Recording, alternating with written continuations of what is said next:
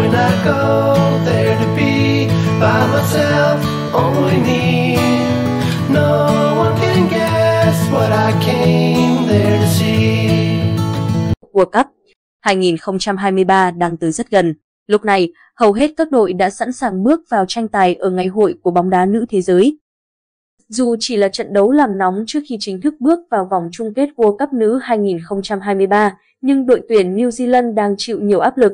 Truyền thông nước này khẳng định các cô gái của họ sẽ phải đánh bại Việt Nam thuyết phục để chấm dứt chuỗi trận thất vọng.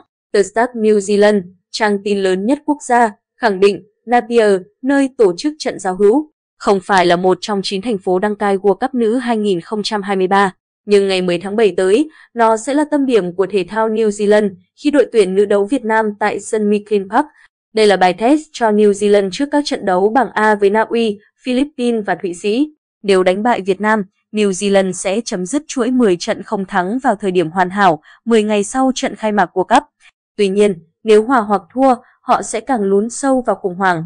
Đây là thời điểm New Zealand khiến người hâm mộ bất an khi họ đã thua 8 trong số 10 trận gần nhất. Chiến thắng gần nhất của họ chỉ diễn ra trước Philippines vào tháng 9 năm ngoái. New Zealand chỉ ghi được hai bàn trong 10 lần ra sân vừa qua. Tuyển nữ New Zealand có hai mục tiêu cho World Cup sắp tới. Họ muốn lần đầu tiên giành chiến thắng trong một trận đấu tại World Cup và lần đầu tiên vượt qua vòng bảng. Nếu muốn chinh phục hai mục tiêu này, họ phải thể hiện được khả năng trước Việt Nam. Trước phong độ tốt của Việt Nam, The Stab cho rằng đội nhà sẽ khó giành chiến thắng, nhưng đây là nhiệm vụ bắt buộc trước đối thủ đứng 32 thế giới. Chỉ kém New Zealand 6 bậc, rõ ràng mọi thứ không hề đơn giản. Nhưng đây vẫn là trận đấu mà New Zealand nên thắng. Trận đấu với Việt Nam sẽ là cơ hội duy nhất để các cô gái của chúng ta thử nghiệm. Đội tuyển của chúng ta đã bị dồn đến chân tường. Dù chỉ là một trận giao hữu nhưng chắc chắn mục tiêu của họ phải là chiến thắng. Chiều mùng 8 tháng 7, buổi tập của đội tuyển nữ Việt Nam diễn ra trong thời tiết mưa và gió lạnh. Tuy nhiên, điều này không ảnh hưởng lớn tới tinh thần và chất lượng chuyên môn của buổi tập. Đội tuyển nữ Việt Nam đã đến New Zealand để chuẩn bị cho hành trình chinh phục World Cup 2023 và đối diện với thời tiết giá lạnh. Đây là điều trái ngược hoàn toàn với thời tiết nóng nực mà thầy trò huấn luyện viên Mai Đức Trung vừa trải qua trong những ngày tập luyện tại Việt Nam. Chia sẻ về thời tiết tại đây, huấn luyện viên thể lực Cedric Roger nói, thời tiết ở đây rất khác so với Hà Nội, thấp hơn 30 độ. Như hôm nay có gió, mưa khiến cảm giác lạnh hơn. Tuy nhiên, nếu quá trình khởi động tốt và các cầu thủ có thể làm nóng người thì tôi nghĩ sẽ không vấn đề gì với thể lực của họ hiện nay. Trong những buổi tập vừa qua tại Napier, đối với các bài tập khởi động huấn luyện viên Cedric Roger cho các cầu thủ tăng cường khả năng nhanh nhẹn, xoay sở và chuyển hướng. Huấn luyện viên thể lực của đội tuyển nữ Việt Nam chia sẻ, hai ngày vừa qua, các cầu thủ rất năng động. Ở thời điểm này, ban huấn luyện sẽ tập trung để toàn đội duy trì thể lực đang có. Tất nhiên, những cầu thủ thường hay thi đấu sẽ cần tập luyện nhiều hơn để nâng cao thể lực, đáp ứng các yêu cầu của trận đấu. Tuyển nữ Việt Nam được New Zealand cảnh báo về thời tiết khắc nghiệt chưa từng có. Truyền thông New Zealand cũng như các quan chức thời tiết của quốc gia này đã phải thừa nhận rằng đây đang là mùa đông lạnh hơn những năm trước. Điều đó càng thách thức đội tuyển nữ Việt Nam trong quá trình chuẩn bị cho World Cup nữ 2023. Tuyển nữ Việt Nam đang phải thích nghi với sự thay đổi chóng mặt về thời tiết tại New Zealand, nơi toàn đội sẽ thi đấu 5 trận gồm 3 trận vòng bảng World Cup nữ 2023 và 2 trận giao hữu. Từ vùng nóng gần 40 độ đến nơi chỉ còn 10 độ là một thử thách cực lớn, đòi hỏi các cô gái sẽ phải rất nỗ lực để vượt qua. Chính truyền thông New Zealand cũng phần nào hiểu cho những khó khăn mà thầy trò huấn luyện viên Mai Đức Trung đang trải qua. Từ Stuff, ZZ nhận định, như bóng đá nam, đây là kỳ World Cup đầu tiên diễn ra vào mùa đông. 8 vòng chung kết trước đó đã được tổ chức vào mùa hè và đều diễn ra tại Bắc Bán Cầu. Với 16 đội tuyển đóng quân trên toàn đất nước, tất cả sẽ phải nhanh chóng thích nghi với thời tiết nổi tiếng là khó lường của New Zealand. Nhưng mùa đông năm nay còn khắc nghiệt hơn. New Zealand đang bước vào tháng lạnh nhất năm với nhiệt độ trung bình thấp hơn cùng thời điểm những năm trước. Trời có tuyết ở nhiều nơi. Có thể nói, đây sẽ là kỳ World Cup nữ khắc nghiệt nhất từ trước tới nay. Và đó sẽ là trở ngại rất lớn với các đội tuyển đến từ xứ có khí hậu nóng ẩm như Philippines, đóng quân tại Auckland, Costa Rica, Christchurch.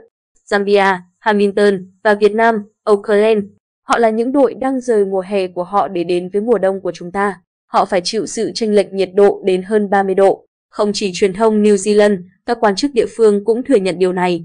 Lisa Murray, người đứng đầu bộ phận thời tiết của Mercedes cho biết, New Zealand đang trải qua một mùa đông lạnh hơn mọi năm. Bạn có thể hỏi mọi người, tất cả đều cảm thấy rất lạnh. Mặc dù tuyết hiếm khi rơi hoặc đọng lại quá lâu trong thành phố, nhưng nhiệt độ vào ban đêm có thể chỉ còn 4 đến 5 độ và thậm chí có thể xuống dưới 0 độ C. Đó có thể là một cú sốc đối với người New Zealand, chưa nói đến những vị khách đáng yêu của chúng ta. Đặc biệt là Auckland, nơi Việt Nam đóng quân. Thành phố này đã bị ảnh hưởng bởi thời tiết xấu trong năm nay, cụ thể là mưa lớn. Trời sẽ rất lạnh, các đội sẽ thật ngây thơ khi đến tận đây mà không biết điều đó. Theo thông báo từ FIFA, chỉ có duy nhất một trọng tài của Đông Nam Á làm việc ở World Cup 2023. Giải vô địch bóng đá nữ thế giới 2023, FIFA Women World Cup 2023 là lần thứ 9 được tổ chức. Đây cũng là kỳ World Cup đầu tiên số đội tham dự tăng từ 24 lên 32, bao gồm cả hai đội tuyển chủ nhà. Số tiền thưởng cho các đội tham dự cũng được gấp đôi kỳ World Cup nữ 2019. World Cup nữ 2023 diễn ra từ ngày 20 tháng 7 đến ngày 20 tháng 8 tại hai quốc gia Australia và New Zealand. Đây là lần đầu tiên World Cup nữ được tổ chức tại châu Đại Dương và cũng là lần tiên bóng đá nữ Việt Nam được tham dự giải đấu này.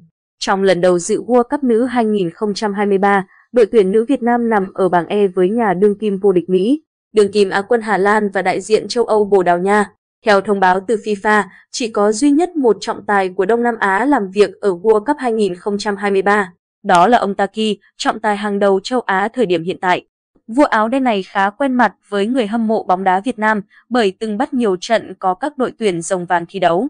Ở bán kết giải U23 châu Á 2018 giữa U23, Việt Nam và U23 Qatar, ông Taki bị nhiều người hâm mộ Việt Nam chỉ trích vì cho rằng đã thiên vị đội bóng Tây Á.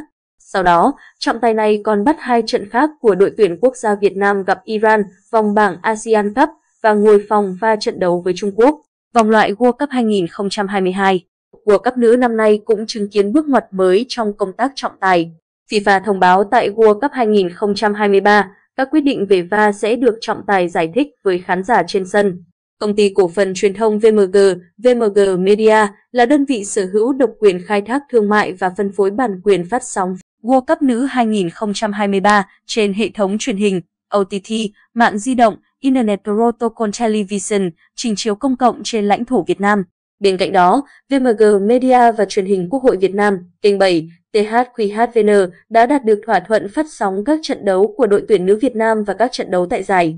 Vì vậy, người hâm mộ Việt Nam có thể theo dõi trực tiếp các cô gái áo đỏ thi đấu tại World Cup nữ 2023 trên kênh 7, truyền hình Quốc hội. Cảm ơn các bạn đã xem video. Nếu thấy video hay ho thì các bạn hãy click like, chia sẻ để video đến thật nhiều bạn bè. Hãy đăng ký kênh và nhấn chuông thông báo để không bỏ lỡ những chương trình tuyệt vời tiếp theo. Video xin được kết thúc tại đây. Xin chào và hẹn gặp lại.